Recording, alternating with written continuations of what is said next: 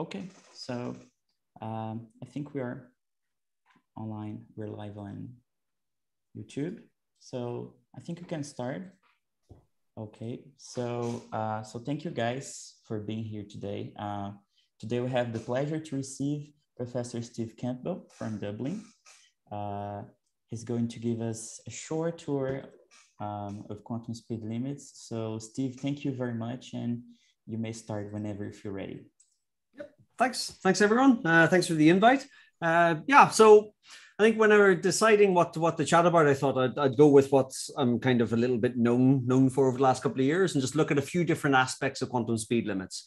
So, without pre- presuming too much knowledge, I mean, I know Lucas is an expert, um, but uh, maybe for those maybe a little bit less sure, I'm going to sort of split the talk into two basic parts. So the first half roughly is going to really just be a sort of historical overview of where quantum speed limits came from, why I find them uh, interesting. And really, it, it should be a reasonably easy, gentle introduction that hopefully everyone will follow.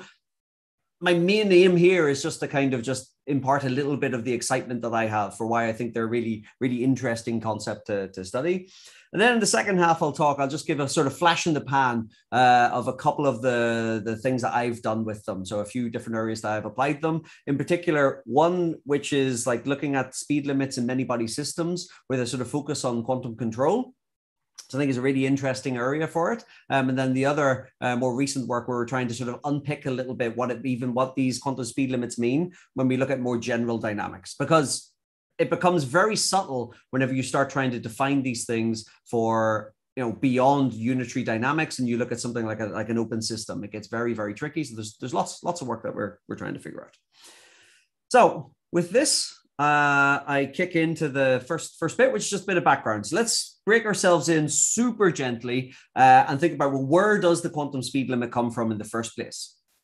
Really, it's an expression of the the un, uncertainty principle. So if we go back to our quantum mechanics 101, I like putting this slide up because I think everyone has seen something like this before. So we have that the uncertainty principles are really what I would call the indeterminacy principles. They capture the uh, like uh, the the intrinsic fuzziness of quantum mechanics. The fact that you can't know with per absolute precision one quantity without sacrificing uh, a certain amount of precision in another. This is kind of baked into the very essence of quantum mechanics. And if we go back to Heisenberg's original papers, so uh, we'll go back to what he what he wrote down, you'll see that in his original definition, like he had these two two expressions. He had the position momentum uncertainty relation, so relating the on the, the variance of the of uh, the momentum times the variance of the position was bounded by roughly h bar. And you know he was not particularly precise. He had this kind of like it's roughly of this order. Um, and at the same time, he also gave us the energy time uncertainty relation. Now, this was a great fundamental insight. The fact, though, that it was a little bit wiggly, a little bit unclear, um, this was very quickly taken care of because, well, you know, in our standard courses on quantum mechanics, we learn about like a Heisenberg's insight by, you know, something like the Heisenberg micro, the, the gamma ray microscope or something like this. But what we very quickly learn when we actually dig into what the uncertainty principles are is that it, arises from a more fundamental property of quantum mechanics, and that is the non commutativity. And so it was a couple of years later um, when when Robertson, so we'll talk a little bit about it, when Robertson kind of formalized the uncertainty principle um, in terms of this non-commutativity, that we really understood what uh, where, where, where the intrinsic uncertainty in quantum mechanics comes from. But what I find fascinating about the, the history of, of the like so if we just follow this thread of where quantum speed limits come from, so we go back like some of the big debates between Einstein and Bohr were trying to unpick the, the, the nature of, of uncertainty. And so, like I say, I mean, position momentum was kind of made a little bit more concrete, but it, a lot of the arguments between Einstein and Bohr centered around the discussions on the energy time uncertainty principle. It was accepted somehow that this was a correct statement, but then Einstein was picking picking uh, holes in it. And what, what he had was this really interesting little thought experiment. So this is one of one of the one of the arguments he had. He came up with this this idea. He said, "Well, imagine I have a box with some, you know, of some mass. It's got some energy or whatever associated. There's some photons bouncing around inside it. And I attach a little aperture here uh, that's controlled by a clock.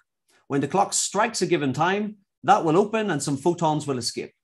So then from here, I can determine precisely what the change in energy is by the escaped photons. And then from here, I can determine precisely what the change, uh, so what I can determine what the change in mass was, and then I can determine what the, what the associated change in energy was.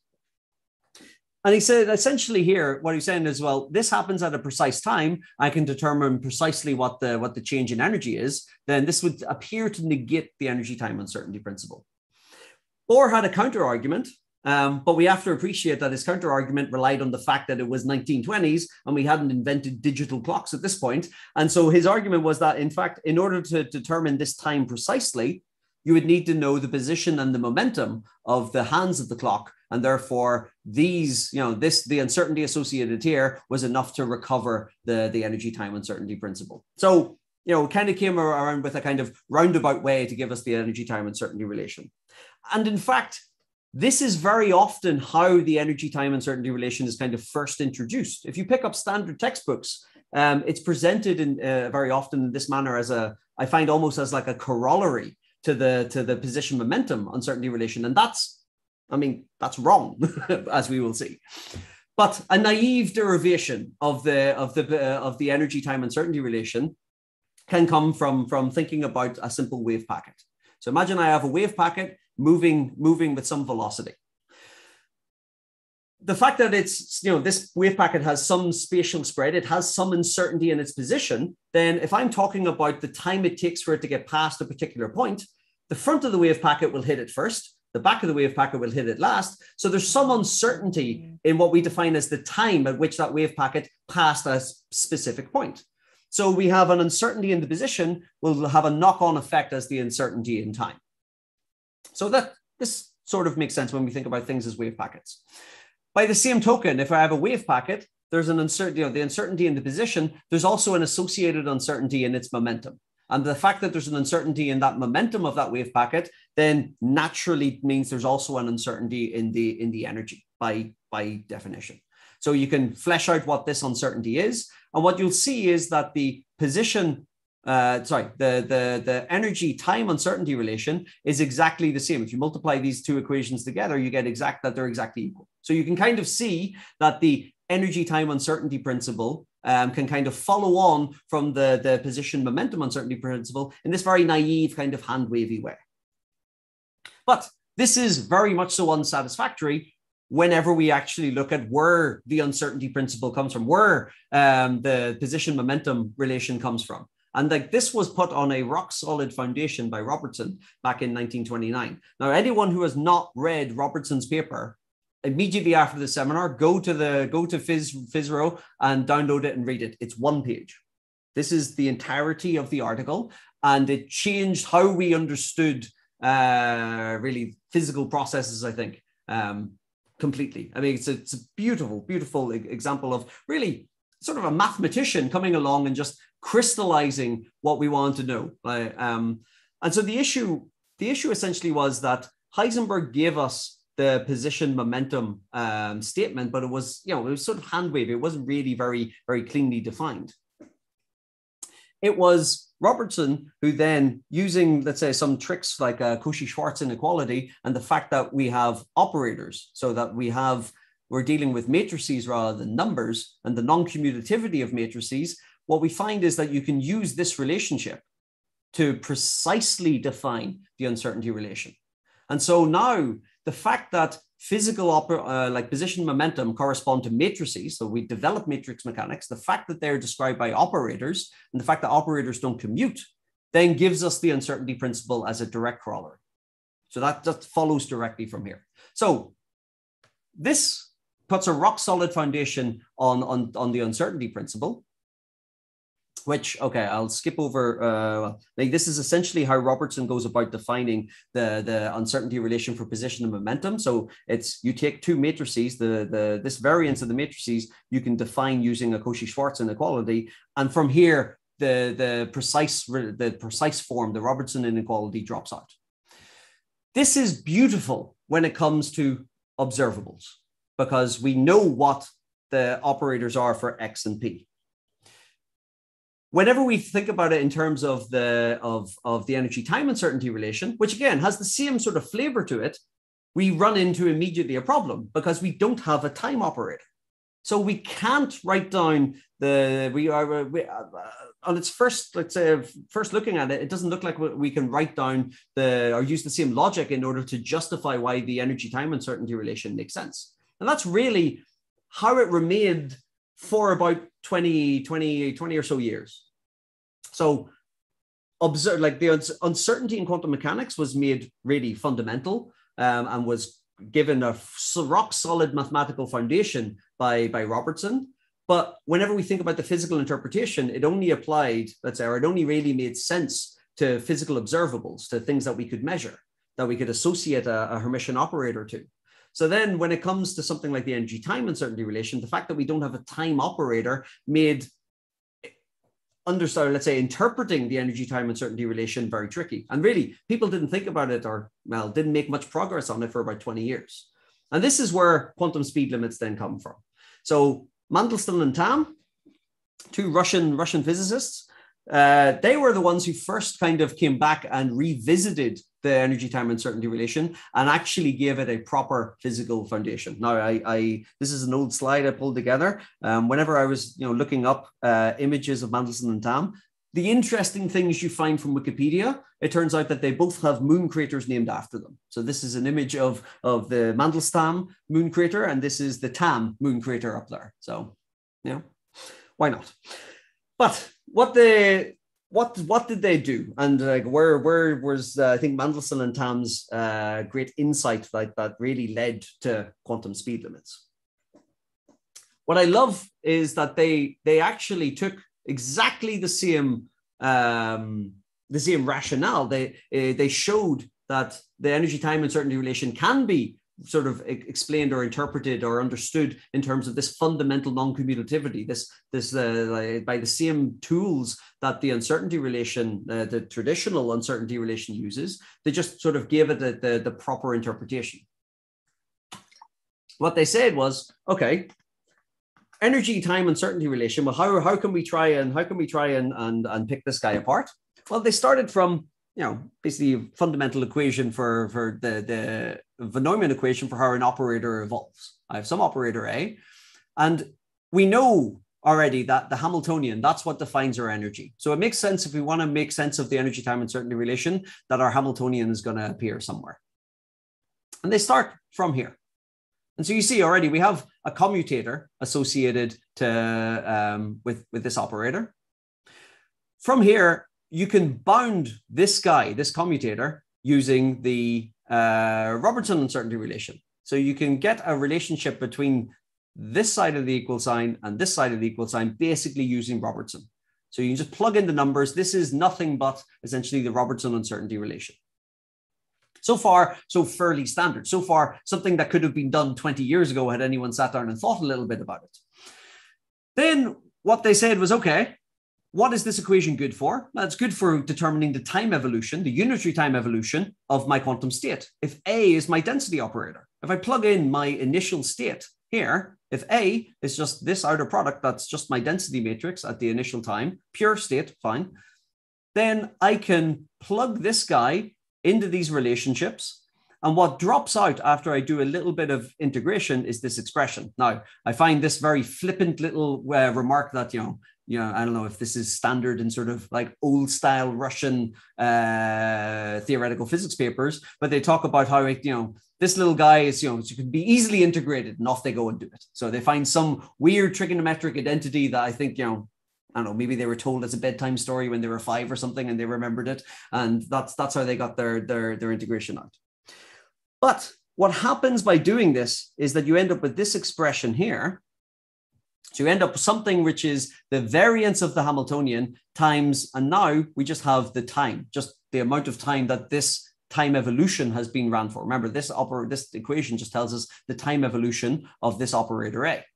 So when we do this integration, we get this expression, and then there's just one little step, which is they say, okay, let's basically they, they say, well, if I were to talk about the initial state evolving into an orthogonal state, what this term is, this is the expectation value of my original operator of A, which is my initial state density matrix. the time average, uh, the, the expectation value at time t, so over the evolved state. So if you actually look at what that guy is, it's psi zero, psi t. So it's just the overlap between the initial state and the time evolved state. They said, well, what happens if I look at uh, something like orthogonal states? This term disappears. And then what drops out is that I have the time required for the state to reach an orthogonal state is going to be pi over 2 divided by the variance times h bar. And this is what the first quantum speed limit was. And what I find amazing or really beautiful here is that they have taken the original, let's say, I mean, the, the, the, the original uncertainty principle, and they've looked at it in the kind of proper way to, to, to show that what the energy time uncertainty relation was not to be interpreted in the same way as the position momentum and let's say let's say standard uncertainty relations things that are to do with measurable quantities the energy time uncertainty relation is fundamentally different. It is related to something like the intrinsic time scales the, the, the time scales that the system naturally will want to evolve according to some to whatever its hamiltonian is. So rather than being something about how accurately you can determine the energy and how accurately you can determine an energy at that particular time it has it's not to do with that. It's to do with how how fast the system naturally will want to evolve according to um, given it given some given the uncertainty and the energy given the its energy spread. So i love this this this interpretation. And this would have been fine and this would have been it and done. You know we would have had a nice clean understanding of the energy time uncertainty relation. If it weren't for another uh, 40 years later people didn't think too much more about it really uh, let's say from this sort of practical side.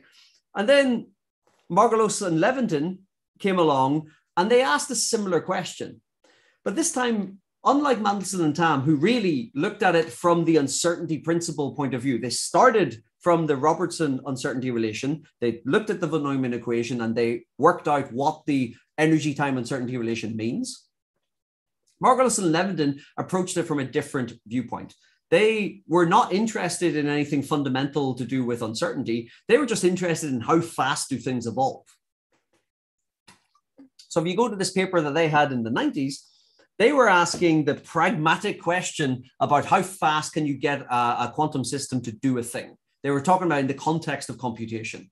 And so where they started from, and I'll not go through the details here, they started from a similar sort of, uh, rather than that von Neumann equation, they just take a standard, even you know, more basic Schrodinger evolution. And they said, well, look, here's how it evolves. I can solve the Schrodinger equation for how it evolves. It gives me my Hamiltonian and like, you know, some unitary operator. And again, they found they had some random or sort of reasonably, I think, obscure trigonometric identity that allowed them to put a bound when they did the integration and they did the time evolution and they looked at how long it would take for an initial state to evolve to a given state. Using some trigonometric identity, they were able to put a bound on that time. What is amazing and what dropped out from, from this approach, from not asking anything to do with the uncertainty, not asking anything to do with non commutativity, really just vanilla Schrodinger evolution, was that they got a, a, very similar bound on how fast the system can evolve, but this time it was related to the average of the energy rather than the variance of the energy. This was a little bit tricky to understand because we had two bounds on the same thing, but related to two different properties of the system. I mean, not completely dis- distinct. One was the variance of the energy, one was the average of the energy, but nevertheless, they were two distinct bounds on the same on the same on the same thing. It took quite a while to sort of flesh this out or to understand it. And in fact, what you end up finding is that when these bounds are saturated, it corresponds to when the variance is equal to the energy. And so when the bounds are saturated, they're actually equivalent. But what I find that was kind of remarkable about what um, I think Margolus and Levitin highlighted was that, you know, the quantum speed limit that Mandelstam and Tamm give us, you know, the fact that it gives this notion of an intrinsic time scale for a system to evolve, and they talk about a distance to, to going to an orthogonal state, there are other ways of viewing that same question. And so that's what Mandelstam or what Margolus and Levitin did. They, they looked at it from just the sort of pragmatic thing of how fast, how long does it take a system to go from point A to point B? That's a very well defined problem, regardless of whether or not you're dealing with quantum or classical systems. Like, how fast can a thing go from point A to point B? That's something that we deal with constantly. And you don't need to rely on anything particularly uh, deep and, and insightful from quantum mechanics to answer that question. And in fact, that's where in this you know it's a couple of years ago now in the review that we did where we started to sort of dig into this this question a little bit more and we'll i guess what i'll do in the next sort of 20 30 minutes or so just talk about a few of the the things that i've looked at and some of the the interesting bits that drop out when you start at like pushing these quantum speed limits uh, in particular instances seeing well what can we learn from from from studying them so and in fact uh, do I do it on this slide? No. So what I, what I'll just say before I move on to here is that that notion, like what Mandel or what Margolus and Levitin did in looking at just well, how fast does the system evolve? Uh, as I said, there's nothing uniquely quantum mechanical about that question. And in fact, what was shown and has been shown since is that you can reinterpret all of these quantum speed limits in a purely geometric way. And the you know, using geometry, then you're just defining distances and speed. I mean, speed is distance over time. So this becomes a very easy way to define a sort of quantum speed limit in terms of how, how far something has traveled in a given amount of time. That is, again, that is not a uniquely quantum picture to have. So the fact that you know distances can be just as well defined in classical systems as in quantum systems, then the natural question emerges as like, well, what's so quantum about a quantum speed limit? And I guess at the very end, I'll maybe touch back on this a little bit to sort of say, well, we're trying to understand like what is it that makes quantum speed limits quantum versus their very recently defined um, classical uh, extensions? Because this same approach that we have, uh, whenever you take quantum speed limits from the original definitions, uh, like the, the motivation of Mandelstam and Tamm in terms of terms of fundamental uncertainty, versus the same relationships that you can get by looking purely at the geometry of the states. Um, you can then try and pick apart, well, what's really intrinsically quantum about them. So we'll get to that a little bit now, but let's say that was just a sort of flash in the pan background on where quantum speed limits came from and and like well, some of some of the little little interesting bits I find. So if you're interested a little bit more, I would uh, go to that review paper and you know you can sort of you know and then there's been tons and tons of work has been done done since. Okay, so where where I came in and really where my my love of uh, of quantum speed limits came from was actually looking at a sort of complementary problem. Uh, I had uh, started thinking about controlling quantum systems. So Imagine, so uh, imagine that you know we we we want to manipulate a let's say a system. So I I'm a, a, simple man. I like to live in the world of like one qubit and one oscillator. So if I can do a problem with with a qubit, I do a problem with a qubit. Um, and my favorite model therefore has to be the Landau Zener. So so incredibly elegantly simple, yet it captures an awful lot of physics. So what the Landau Zener model tells us. So I have some some fixed energy gap here some delta. And then I'm just interested in ramping the system with this, this G. So I apply some field and I'm going to ramp it. Now, what this would mean is if I start the system, let's say in its ground state here, and I ramp this value of G, and I want to go all the way and stay in this, this ground state all the way to some final value of G. If I do this sufficiently slowly, then I will stay always in the ground state. That's what the adiabatic theorem tells us. If I do go sufficiently slowly, and there's a very precise way of defining what sufficiently slowly is. But let's say in practical terms, we may want to do this process faster. So doesn't matter. You can pick if you're doing like a, uh, I don't know, some sort of metrology protocol, you might need to do this, or if you're doing state preparation or computation, many reasons why you might want to be able to do this. Um, and generally, you don't want to do it on adiabatic timescales because, like I say, adiabatic timescales are dictated by what this minimum gap is. And so if you have to go really slowly, it's not optimal. So there's been lots of work done in trying to determine ways in which we can achieve this same process just faster. And one way is using uh, what's called counterdiabatic driving, which is a, a form of this, this thing called a shortcut to adiabaticity. What it involves is having my original Hamiltonian, and then I have to work out a particular form of a control term that I add to it. So I take uh, some aspects of the eigenstate, so how the eigenstate I'm interested in controlling, how it changes in time, and I calculate this outer product.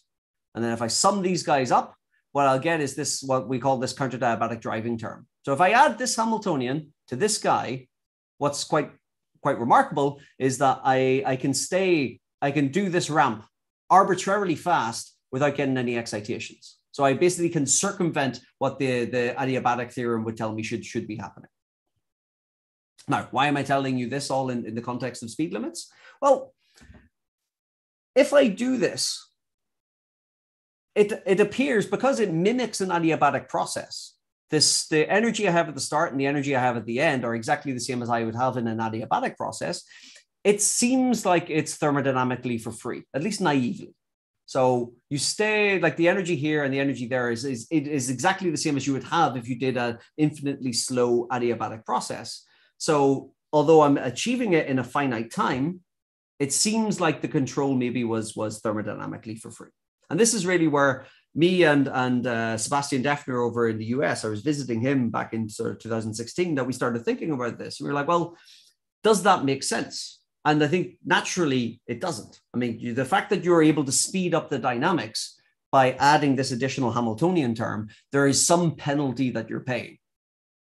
And so we were interested in sort of formalizing this a little bit more. That's really where my first interest in the quantum speed limit came from because Sebastian had done a lot of work in fleshing out, well, precisely how do you define quantum speed limits uh, for, let's say, arbitrary sort of dynamics. And I had thought about ways of defining a, a, a cost, like how do you quantify how, how energetically costly this control term is?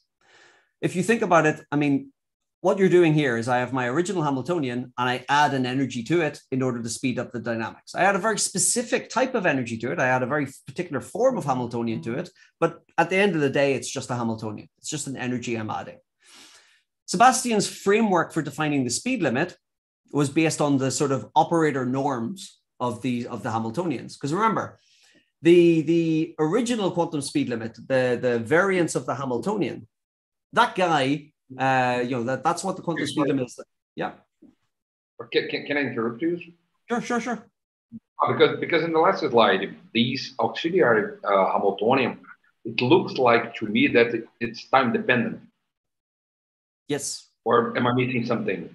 No, no, no. It's uh, everything here would be time dependent. I think. Well, um, because so if would... it's time dependent, then why, why why should I not use um, Dyson series to compute ah, the so, yeah. state.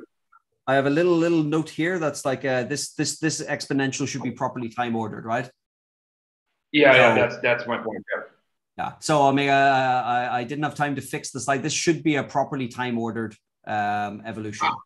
So oh, okay, okay, okay. So, this Hamiltonian is changing in time. The corresponding auxiliary Hamiltonian is, is changing in time as well in a complementary way. And if you do the correct time ordering evolution here, then what happens is that the time evolved state is precisely the instantaneous eigenstate of the oh. original Hamiltonian. So it counteracts any excitations that you would get. It sort of bats them back down, and you stay perfectly along this this this uh, eigenstate. Now, what we were interested in, what we wanted to understand then is well, this process you can do essentially arbitrarily fast by adding this, this auxiliary Hamiltonian in. So there should be some, some sort of energetic trade-off between them. And really that's what we sort of formalized. What we looked at was we calculated Sebastian's quantum speed limit. So exactly what we were defining before. The fact that you can define a quantum speed limit either in terms of this you know uncertainty principle picture or this geometric picture. So if you use the fact that you just have a distance in state space i'm going from this state to this state you can define a distance and operator norms like trace distance norm these are perfectly valid distance metrics. You can use that in order to define a speed and then you can you know uh, the details are not so so vital. You can then define the the like well you can define a quantum speed limit. You determine how fast this, this dynamics is going according to this to this metric. What was very nice was we looked at this for various different uh, ramp speeds. So we have that the the is there a lot of noise from somewhere yeah, Pedro, I, I think you can close Norton's microphone because probably he opened it. Yeah, I'm sorry. It's done now. Oh, yeah, okay, don't worry. Thank you. So, so what, what we what, what what we looked at was you know where we we applied this to to to the base to the basic problem. We have this two level system. We start in some some eigenstate here, and what our target is is to ramp to this final state going through this avoided crossing. And we want to do it in arbitrary times. So we look at it for different ramp durations. Now, what adiabatic theorem tells us is that if we go sufficiently slow, if we take a ramp duration that's really big, we should be able to get, we should be able to do it with, without getting any excitations. We calculate the, the magnitude of the control term using this, this norm. And then we plot, we, use, we use this to, to determine what this, what this quantum speed limit is. And what we find is that when you're far away from the avoided crossing in this region, stupid iPad, um, when you're far away from the, the, this avoided crossing, regardless of what the ramp duration is, basically this quantum speed limit was always the same. Like the, the, the bound that we were getting was always exactly the same. What this essentially indicated was that all processes, regardless of how fast we were doing them, were essentially, you know, uh, adiabatic. They were all basically at the, the, they're basically all kind of going as fast as, as you needed to go, pretty much.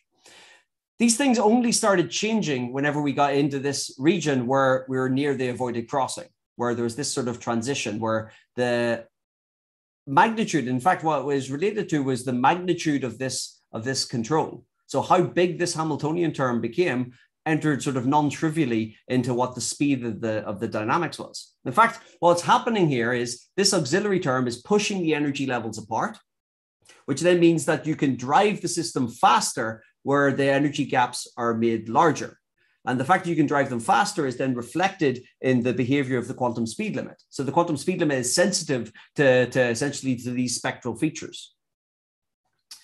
And so what was what was nice, you, you could kind of see where the need for control kind of kicked in. You had these kind of minimums uh, behavior in the in the speed, and you would peak where the control was at its most necessary, where the gap got the smallest. This is where the need for control was somehow the, the, the highest. So the main takeaway here was just that, you know, by asking the question, by looking at the quantum speed limit and looking at in the context of quantum control, it allowed us to kind of understand a little bit more uh, how the, the this trade-off between how how costly your control was in terms of the magnitude of this energy you have to invest, and then how fast you were doing the dynamics. The faster you wanted to go, the more you had to pay in terms of this auxiliary Hamiltonian. So getting this larger speed corresponded to this really big cost that you had to pay. So this is this basically this this trade-off. So this we thought was nice, but there was something that that you know was sort of hanging there that we didn't get a chance to dig into and it took us a couple of years before we came back around to it and that was looking at at um, some of the features that we were seeing in this in the landau-Zener model was sort of reminiscent of something called the Kibble-Zurek mechanism so now if you're not familiar with Kibble-Zurek mechanism this is essentially uh, uh, I guess a kind of reinterpretation or redefinition of, of the adiabatic theorem to a more precise way. It's to do with critical systems and ramping through a phase transition. And so then this is another reason why I love the Landau-Zener model so much. It's a two-level system with an avoided crossing, but nevertheless, the fact that that gap closes and then reopens is characteristic of what happens in like second-order phase transitions. In fact, it's almost exactly the same as what happens in like the Ising model. A sort of standard critical workhorse that we look at. So what Kibble-Zurek tells us is that, well, sorry, no, what the adiabatic theorem tells us is that if the energy gap is large and I ramp the system sufficiently slowly, and sufficiently slowly is basically proportional to one over that energy gap. If the rate at which I'm changing the ramp is smaller than the inverse of the energy gap, the system has enough time to kind of stay in its ground state. It might get a little bit of an excitation, but I'm ramping it so slowly that that energy gap is so big that it'll just relax back down. It'll just stay, basically stay in its in its ground state what Zurek really uh, was the person who, who came along and, and formalized it. What he realized was that actually what happens at a, at a phase transition where the energy gap closes is that there's going to be a crossover. There's going to be a point, depending on how fast you're ramping the system, where the adiabatic theorem breaks down, where I'm ramping the system too fast. So if I ramp at a constant speed, let's say just a linear ramp, and the gap is closing, at some point, the rate at which I'm ramping that will be faster than one over the energy gap. And that's where there's going to be a transition. And he characterized it in this manner, where we have in here, I'm ramping the system, uh, let's say sufficiently, like the energy gap is quite, quite large. So this is one over the energy gap I'm plotting here. So the energy gap is quite large. And then the the the the speed with which the ramp is going is much is is much bigger. So essentially the system can always heal in this region. The energy gap is so big that everything I do, that this, this ramp is essentially adiabatic. But at some point, there's a crossover where I'm ramping the system too fast and I get I'll get some excitation, and any excitation will get stuck up there because but the, the the the ramp moves forward too fast. So he characterized this as essentially a crossover between an adiabatic regime, where the system essentially the ramp, the gap is so big, I can just do whatever I want to the system. Um, and I won't get excitations. And the impulse regime, where I'm ramping it too fast, that essentially uh, he says that the, the dynamics sort of froze out. And okay, so the, the specific details then are not so important. I mean, he, uh, Zurek basically showed that you can relate the, the time at which this happens to the underlying critical exponents of the model. So every critical system has these uh, particular critical exponents that characterize all of the different equilibrium properties. What is amazing uh, in what, what uh, Zurek has done here was he showed that the dynamical response of the system can be understood purely in terms of its equilibrium properties, in terms of these critical exponents. So depending on how fast I'm ramping the system, which is related to how, uh, how quickly that energy gap is closing, I can understand the response of the system in terms of these critical exponents. The crossover between when it's adiabatic versus impulse is characterized by this. Now, where does quantum speed limits and us uh, fit in? Well, we go back to what we had done with the Landau-Zener. And one of the things that we'd been asked about uh, when we first did the paper was that, you know, this, this property, this kind of region here where all of the curves collapsed on top of each other. And we said, like, essentially everything you're doing is adiabatic. And this region where the need for control was significant, this was very reminiscent of the crossover between adiabatic dynamics and impulse and the impulse regime. And so the question was, is there is there a more concrete? Is, is it just it's a simple like it's a qubit? So is it that we're dealing with a simple system and this is just coincidental or not?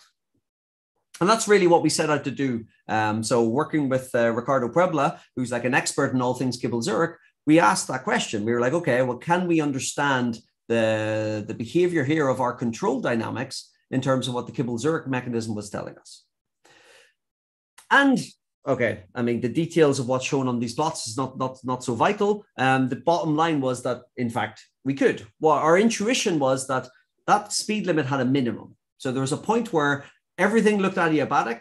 And then there's a point where the speed bottomed out. And that's where the need for control kicked in, where they, and then the, the, the magnitude of the control term grew depending on how fast you were doing it.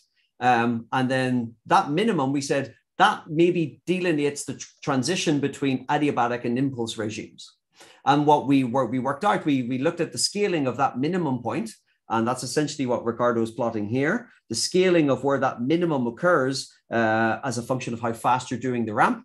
And what should happen was this characteristic um, square root of tau scaling is what Kibble Zurek predicted. And it's exactly what we got.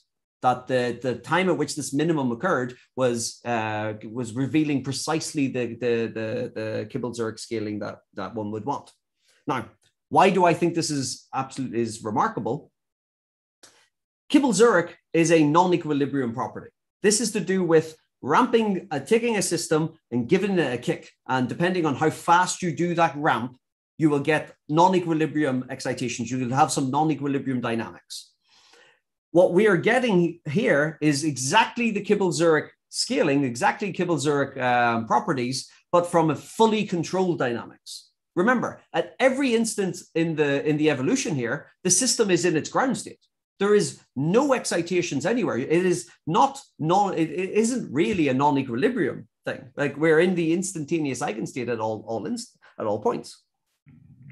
What this is essentially, uh, well, what, what we what we argue or what, what what I think this shows is that the control dynamics can actually be used as a as a useful window into otherwise non-equilibrium dynamics. So think about it.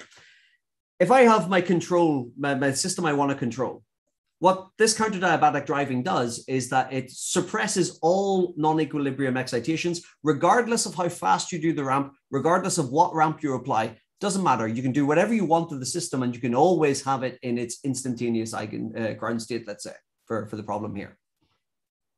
So by virtue of the fact that you're able to control the system, a corollary of that, which is what we validated here, is that by being able to control the system, you implicitly or you automatically learn about the non-equilibrium dynamics that the system would undergo if you weren't controlling the system.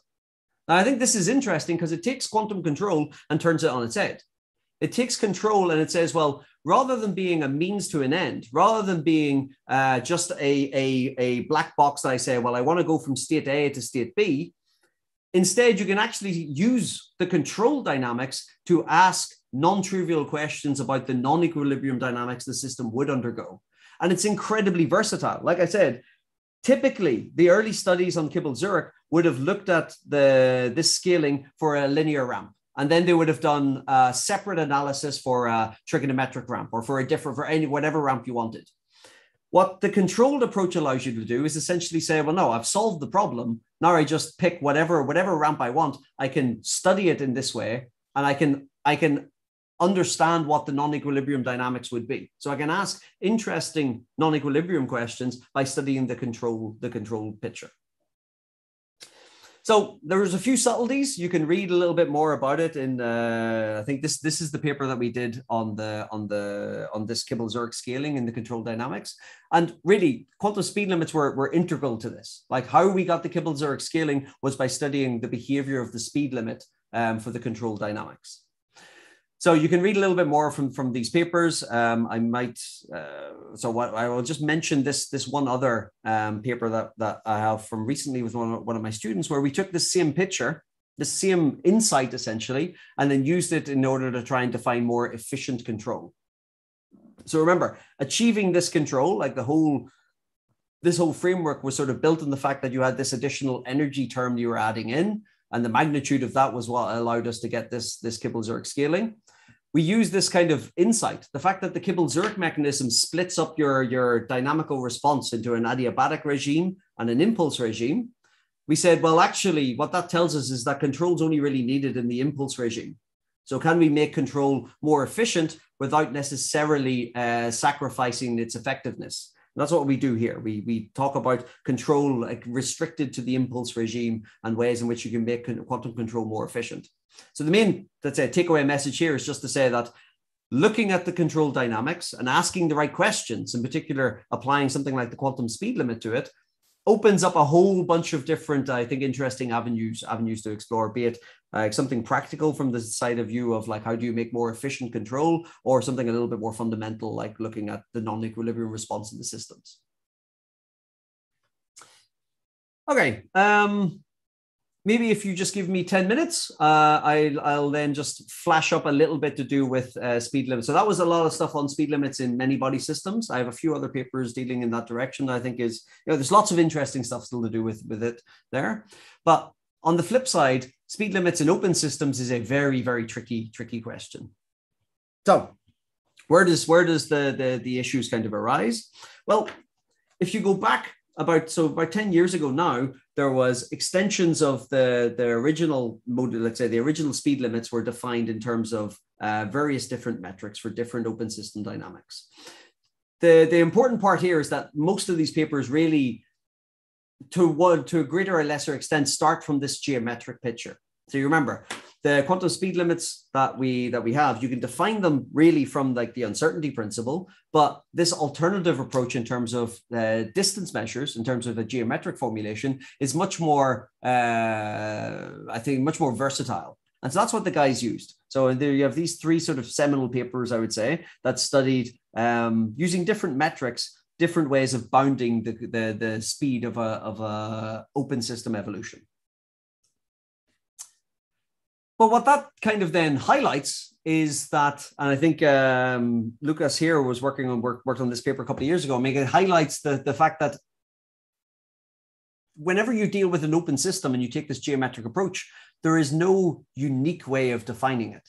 The fact that you can define a distance in space, um, then that opens up. Uh, you can basically pick any any metric you want and define a quantum speed limit. And in fact, um, Sebastian has basically made a career out of defining multitudes of quantum speed limits. In fact, although in fact, I guess Lucas, you probably take the, the biscuits because you've defined an infinite family in that in that in that paper, right? So right. Yeah, that's right. so, I mean, the, the, the main point here is that once I take this geometric approach, I can define a quantum speed limit for every metric. So anyone out there, all you have to do is go to the literature, find a metric that people haven't defined a speed limit for, work it out. All you have to do is apply like a, uh, this Cauchy-Schwarz sort of inequality, and you'll you'll then you will have your own speed limit. Bam! You can just tick it off, stick your name on it, and you're done. You have your own speed limit. Um, this is nice, but one of the issues then I think um, that comes up is then well, how do you interpret them? What was what's beautiful about the original motivation, the original speed limits, the Mandelstam and and uh, the Margolus Levitin, is that at least they were related to physical properties of the system. The defining feature was either the average energy or the energy variance. So for unitary dynamics, even this geometric approach becomes equivalent, and you can relate this geometric approach back to a physical property of the system.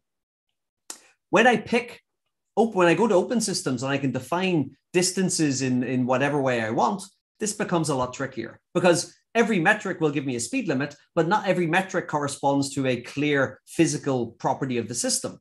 So in particular, like uh, I, I, I maybe have an example here. I can look at a qubit thermalizing.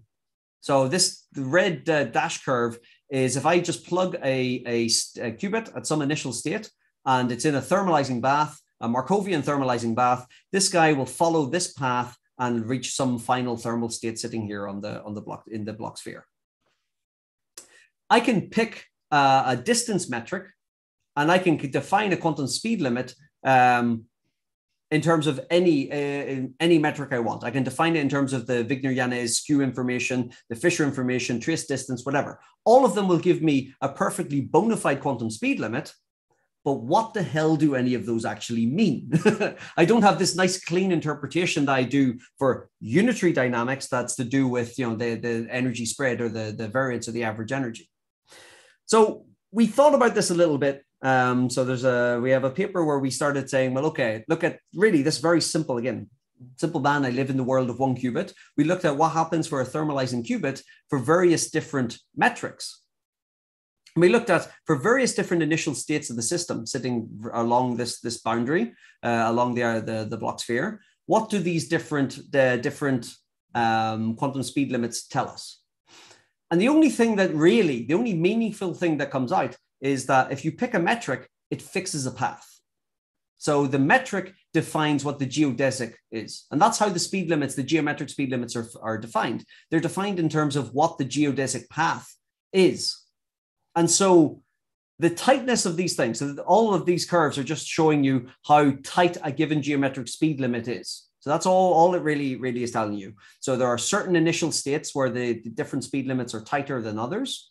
This highlights there's no real hierarchy, and in fact, the way that you should be interpreting these geometric speed limits is that it's a kind of an optimality criterion on your path. It's to do with how close to the geodesic is the path that your dynamics is following. And it doesn't really say anything more than that. That's about as, as good a physical intuition as, as we could get. That really, when you look at geometric speed limits, it's just to do with how far away from your the optimal path is your uh, is the path is your actual path that you're following. What that also means is that once you fix the dynamics, quantum speed limits by their very construction aren't really sat- they're all saturable, provided your your dynamics follows the geodesic path for that metric. But most most open system dynamics will not follow a given metri- uh, metric's geodesic path. So the the saturability of quantum speed limits is kind of a little bit I find a little bit shaky. But I'm going to skip over over this this notion of the action speed limits, um, just to say that I because I want to. Um, so I, just want to finish on the one last little bit of work that we did to do with the on open systems. So the, the main thing on these action speed limits was just that that argument about the the optimality of the path. I think there's um, how you interpret ge- geometric speed limits needs to be a little bit more carefully carefully done in terms of uh, just because of this sort of infinity of different metrics that you can pick. But very, very recently, we we were asking sort of similar enough. Like I've been thinking a little bit about like what do these quantum speed limits really mean in a kind of practical sense.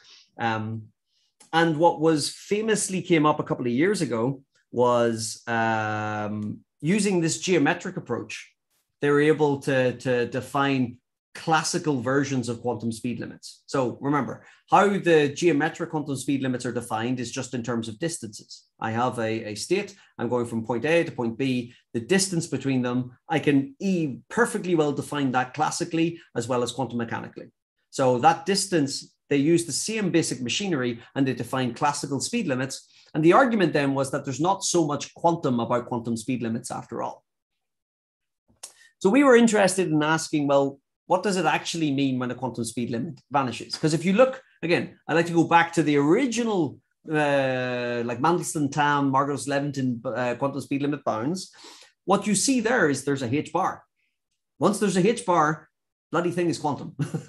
and so the rationale always was that you know these things come from quantum mechanics. The Mandelstam Tamm makes it very clear it's to do with the uncertainty principle. H bar is there. This thing is damn well quantum.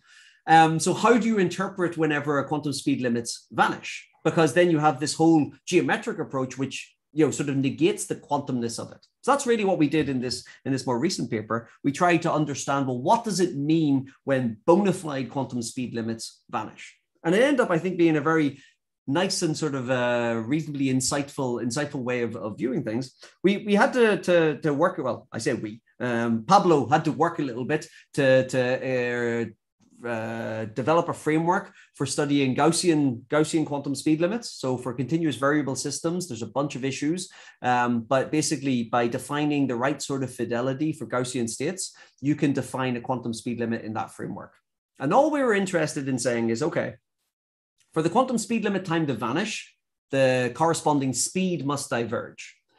So if that's happening, is there something we can say meaningfully about classicality. Because the argument should be that the when h bar vanishes when the quantumness of my system disappears then the quantum speed limit should go away as well. Bona fide quantum speed limit should vanish in, in that area. And we showed that that insight does does does still stand. So if you take something like the we use the same geometric approach. You imagine i have a blob in phase space. So i have a gaussian state just sitting here what does it mean for that state to become distinguishable? If I want to become fully distinguishable, I need this guy to move away from where this, this blob is. So they have, they have to live in different, different parts of phase space. So if I look at how quickly can I do that? So I, I do some little, little ramp here. If the blobs are this size, it'll take a while before they, before they become properly distinguishable. If I do the naive thing of reducing H bar, if I take the naive classical limit, what does that correspond to? That means reducing uncertainty in all of the observables here, just making it tighter in phase space. Now, the state can evolve to a, a distinguishable state faster. What we see here is that a diverging quantum speed, or correspondingly a vanishing speed limit time in this framework, goes hand in hand with does go hand in hand with the the, the vanishing of, of quantumness by increasing classicality by decreasing h bar, you're basically going closer to classical systems, to point particles. You get uh, a diverging speed here. So there is a, a, a hand-in-hand notion of more classical in terms of reduced uncertainty, like the original, let's say, sort of motivation of speed limits, corresponds to, to, to a vanishing speed, quantum speed limit time. I think this was a nice insight, but a bit artificial because we're taking this limit of naive limit of h bar to zero. Much more interesting, or much more, I think, sort of meaningful was when we looked at it for squeeze states. So you take squeeze states. What is a squeeze state? So I, I, I take my blob in phase space. So I have my P and Q quadratures. So this is just defined here in, in, in terms of these, these, these operators. If I squeeze it, I'm basically just reducing the uncertainty along one, one degree of freedom and increasing it along the other. These are extremely quantum states according to the to in the plane orthogonal to, to which you're doing the squeezing. So the more I squeeze in the P direction, the more quantum it becomes in the Q direction, essentially. So now play the same game. Look at my initial state, and I have a bit of squeezing. In order to make this state, the more distinguishable I want to make this state, the more, let's say, the longer, the, the bigger the time will need to be. I can ramp the system, uh, and it, like in order to get it properly distinguishable, it'll take a, it'll take a while. Whereas if I do the same process, let's say the same ramping, but I take a more squeezed state, it will get distinguishable quicker precisely because you know the uncertainty in this direction it's it's it's thinner. It's thinner in that direction. If i do a little rotation the thinner it is in this direction the quicker i'll be able to get to a to a distinguishable state. If it's infinitely squeezed in this direction then i'll be able to get to a uh, to an orthogonal state to a completely distinguishable state essentially instantaneously what does that correspond to when we think about it in terms of the uncertainty well I have a massive amount of quantumness, a huge amount of uncertainty in this q direction if I increase the, the, the squeezing. But that corresponds to a vanishing uncertainty in another quadrature in the opposite direction. So what we actually have here is that we can understand the vanishing of genuine, of bona fide quantum speed limits as the emergence of classicality in at least a subset of, of observables. In the naive limit of h bar going to zero, it's all observables. It's just everything that, you know, you're making everything very classical. In the more, I think, sort of meaningful instance, you see that you get a vanishing speed limit by making classicality emerge at least in one particular direction for one property of the system. So we would argue that the bona fide speed limits, like the uh, vanishing quantum speed limit times, really do herald uh, a, type of classicality, just a very specific, precise notion of it. So I just finished just to flash up to say that um, this notion of classicality at the level of the vanishing uncertainty it's very in the spirit of the original uncertainty principle i think it's you know very much so kind of what Mandelstam and Tamm and the, the, the heisenberg uncertainty relation gets at and this is fundamentally different from the notion of classicality that we associate to, to open to normal open systems. In open systems, we have uncertainty at the level of mixing of states. We have mixed states, and that's how it gets muddied. That is a very, very different type of classicality compared to vanishing uncertainty of certain observables. And so, what, what I think our, our most recent paper kind of hints at is that there's there you know there's really sort of two very different ways to look at how a system can be characterized as classical quantum speed limits by their nature are like inherently quantum and they do vanish when a certain type of classicality emerges. But equally if i have an open system dynamics where i have a classical mixing your quantum speed limits will never vanish in that instance because the classicality associated to it is, is very very different. Um, we did some extra work in the direction of looking at it for for um, in many body systems, but I leave it I leave that for you guys to, to read in your own time for now, just I think I'm, I'm basically out of time now, so I'm just going to thank thank my guys. So the my group, I have Owen, Owen, and this is Anthony, or as I call him, not Owen. So when he gets a picture of a cat, then then he'll get a name. Um, but then a lot of this work then was done with Giacomo, Sebastian, Ricardo, and and Pablo. So with that, uh, I I thank you guys for your attention. Apologize for running over a little bit, but uh, I'm happy if you have any any questions or anything. Yeah, thank you very much, Steve. So, questions?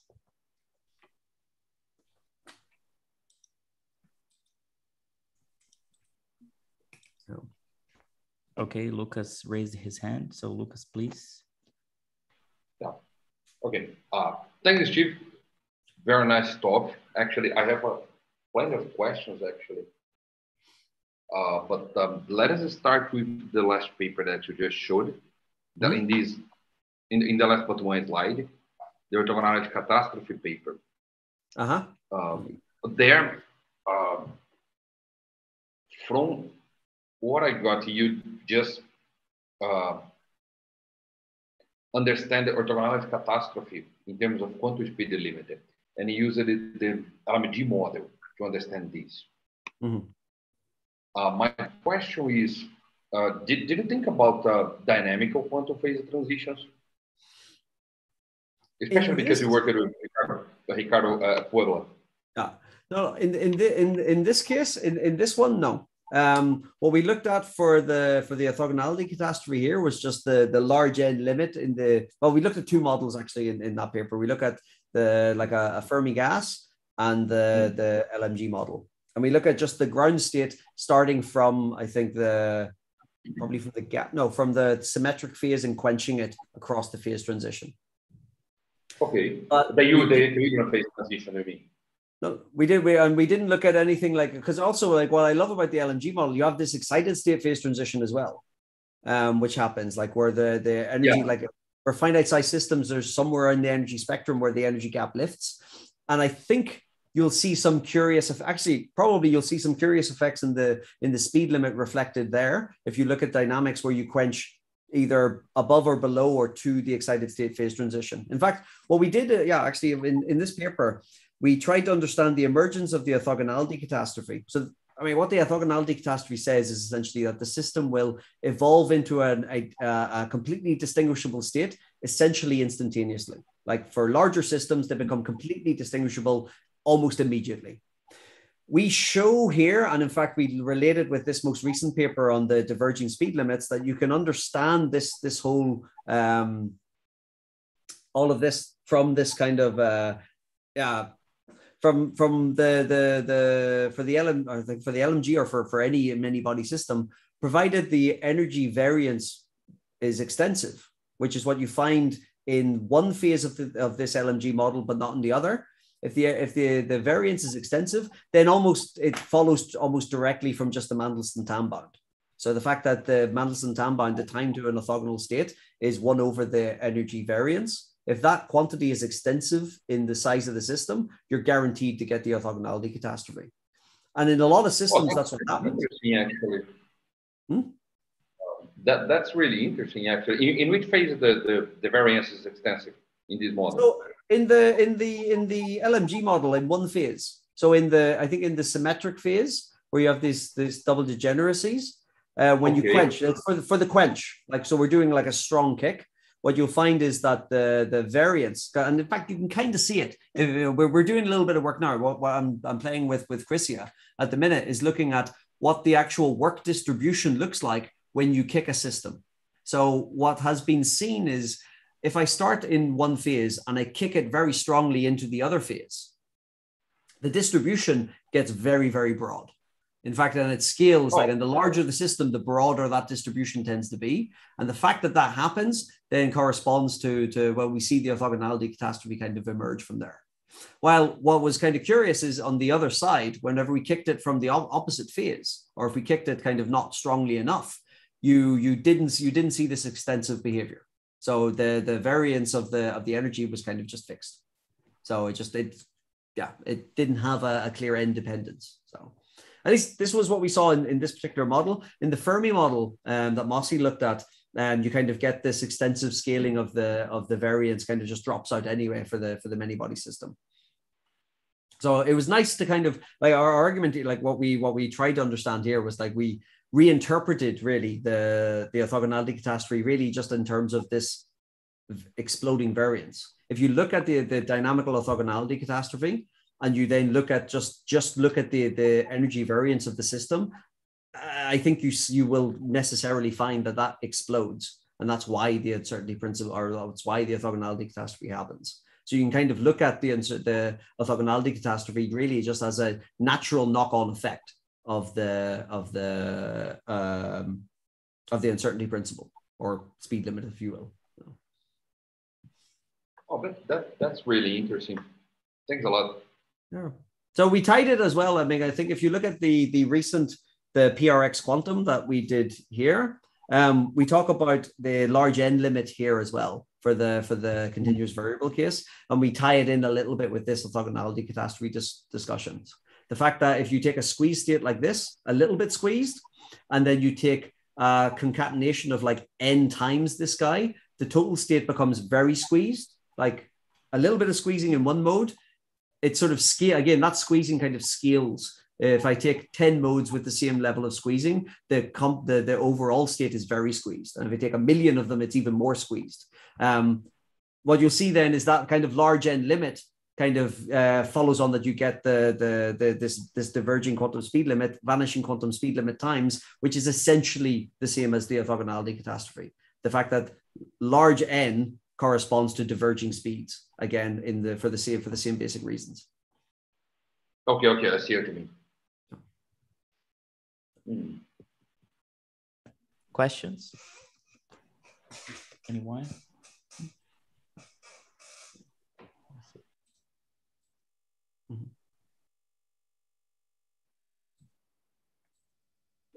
So if you want to make more questions, Lucas, feel free. yeah, I'm, I'm, I'm, I'm still thinking about dynamic dynamical quantum phase transition here because of, in relation with the, this thing that Steve just, I mean, mm-hmm. spoke. It's um. Mm.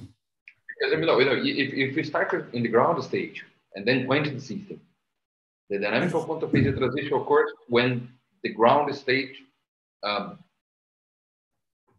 so there, there is a paper. I think uh, Markus Heyl, of course. Um, I think he has done something on dynamical phase transitions and speed limits. If I remember yeah, correctly. Yeah, there is a paper, but I, I don't understand that paper actually.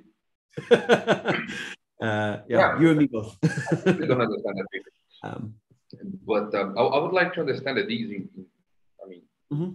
I mean, it should, be, it should be calculable for yeah for a reasonably simple enough systems like for for the Ising or for the LMG probably. Um, yeah, this, this is easy. Yeah, yeah. Um, mm-hmm. Because I mean, it, it happens it happens in a finite time, and it's when the system becomes the, the I mean, the system comes back to the ground state manifold. Mm-hmm. So mm-hmm. it goes become becomes well, I don't, I don't know if it becomes orthogonal actually. But. No, I mean, I, what I imagine, okay, thinking on my feet, what what must happen is if you see that, like, if if the dynamical phase transition is characterized by the fact that the the dyna- the state reaches the the the ground state or reaches the, the ground state of the other phase and then comes back or something like this. I imagine when you don't see a dynamical phase transition is because the system can't reach that state. So probably if you calculate something like the quantum speed limit, there should be some some when you don't see a, a, dynamical phase transition, the the speed limit should the speed limit time should probably diverge. So the Pro- fact that probably the, yeah, probably, the state can't reach the fact that the state that their system can't reach that target state, then should correspond to an infinite speed limit time. So you should have a diverging speed limit time, but when it does happen, I guess it should become finite. There should be some sort of sharp crossover there, I would imagine. So maybe it should be possible to build a, a, a phase, a dynamical phase diagram based on the quantum speed limit. Well, I think this this is exactly it. I mean, because I think if you look at what we did, like what I was talking about in the first part, where we talked about that control dynamics, if you ask the right question, sort of of the dynamics using the speed limit, it does seem to drop out all of the interesting features you might want. So, I mean, you yeah. can study things like Kibble-Zurek scaling and other kind of uh, dynamical properties by looking at the speed limit, just looking at it in the right sort of way. So I would fully suspect yeah. you could probably get something something comparable. It would be nice. Yeah. Yeah, that's true. That's true. Thanks, man. Sure. That's okay. So do we have more questions?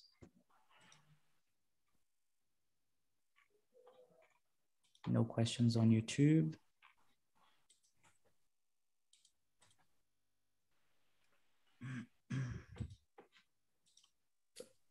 Um, yeah, you know, uh, this actually this uh, dynamical quantum phase trans- transitions is, um, let's say, it's what I study in my PhD, and uh, one of our initial purpose for my PhD was, uh, you know, trying to answer the question how fast uh, dynamical quantum phase transitions occur, and mm-hmm. we thought that uh, we could answer this question uh, using quantum speed limits, at least at the beginning.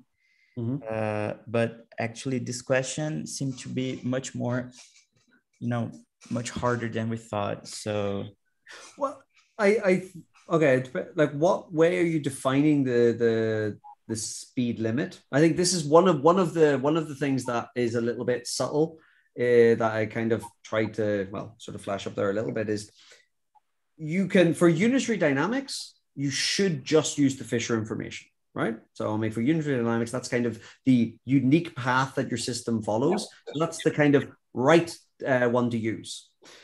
However, you can define metrics using, you know, you can define, you can calculate the speed using any metric you want. So you can use a trace distance metric or whatever. Interpreting them gets a little bit trickier. But what we did in the in the Kibble Zurek stuff, we didn't use the Fisher information because it wouldn't work you had to use the trace distance. And this is, I mean, it's a little technical, but essentially the fact that our our control dynamics always was tracking the uh, the the instantaneous the instantaneous ground state, you're always essentially on the unitary dynamics of the bare Hamiltonian, meant that you couldn't probe any of the interesting, the, the, the competition between the, the control Hamiltonian and the, the bare Hamiltonian. You're just sort of seeing the properties of the underlying bare Hamiltonian. By taking the trace distance, this guy was sensitive to the different competing energy scales at play. It was like, but the fact that the geodesic path that the trace distance wants the system to follow was um, uh, is not the the, the the the the unitary path that the that the the system was actually following. That was enough to sort of see the trade-off between the energy that the, you're investing from the control and the energy that you're getting from the just from the bare bare ramp and that competition was vital for getting that scaling so I guess what I'm what I'm saying is that when you're studying something like the dynamical phase transitions or some sort of process like this, you have an entire infinity family of different metrics to pick or different speed limits to define. Which one you choose, I think, will de- will determine what kind of features are revealed. So I think this, like I said, the, the the correct one, if you're looking talking about actual speed limit times, is something like the Fisher information but it doesn't necessarily probe all of the different features that, that you have going on. I think picking one of the other, like a, a different metric to calculate it in, re, in relation to, might reveal something a little bit more. Maybe. Yeah. Yeah. Okay. Mm-hmm. So, any questions? No. Okay. So uh, I want to thank you again, Steve, for the acceptance of the invitation. It was a great pleasure. So thank you very much. Thank you. Thank you guys. No, no, it was an absolute pleasure. So um, hopefully I'll see you in person in, in Brazil in the not so distant future, right? yeah. Wow. Me too. Me too. Yeah. Hope to see you again soon, man. Yeah. Man. Thank you Yeah. very much. Thank you very, very much for the talk. No, of course, anytime. Any anything, any questions or anything you guys have, just you know, feel free to follow up at any point. Yes. Okay. Please send my regards to John and, and Gabriel. Oh, I will. Don't worry. We'll be out for pints this weekend. So. Oh, that's amazing. All right, guys. Ciao. Okay. See you. Bye Okay. bye. Ciao.